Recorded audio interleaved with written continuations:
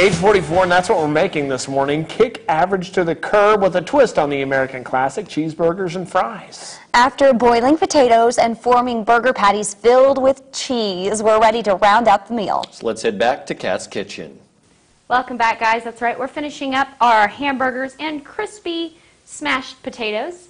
We're going to pick up where we left off with our potatoes. We boiled them for about 10 to 15 minutes. Now we're going to coat them in three tablespoons of extra virgin olive oil and a tablespoon of chopped rosemary and about a teaspoon of salt, really to taste. Just going to toss all that together. Now we're going to smash them. I have just a regular old drinking glass. And you just kind of get your potato and smoosh. There it goes. So easy. Don't get too crazy with this or you're going to have potatoes flying everywhere. Now that we have all these smashed, we're going to put these in a 425 degree oven for about 20 to 30 minutes until they're brown and crispy on top. So now that we have our potatoes going, we're going to go ahead and cook our burgers. These are going to go into a medium hot saucepan for about seven minutes per side. Our burgers are cooked and our fries are done. Now it's time to assemble our burger. I don't like a whole lot on mine, especially since this already has so much spice and cheese in there. So I'm just going to put mine on a toasted and buttered bun with two thick fresh tomatoes.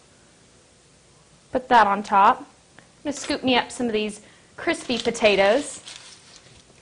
Now I'm going to cut into the middle of this so you can see just how cheesy this burger is. Oh, look at that. That is trouble. Now I'm ready to taste.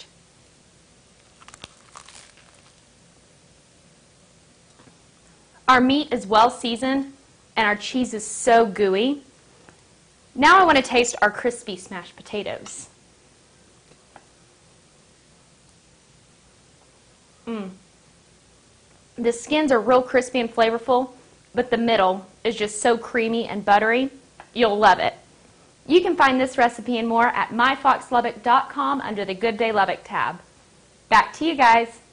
Yum. It's torture every time. All We're right, so hungry. now in the style of Family Feud, show me pretty picture.